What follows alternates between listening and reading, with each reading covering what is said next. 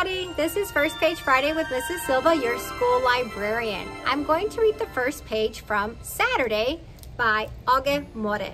Um, it is a book about a young girl named Ava and her mom and how they spend their Saturdays. Let's get started.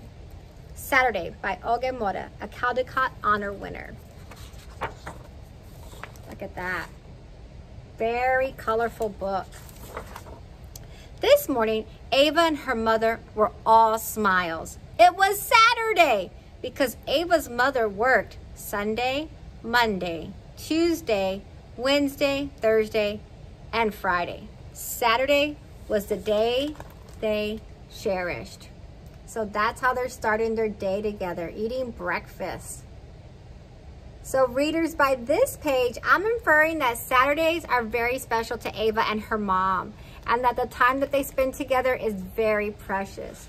This book is very colorful. It is a tender-hearted book, and we do have it available for checking out from our school library. You can place it on hold using Destiny Discover or using a book hub form online.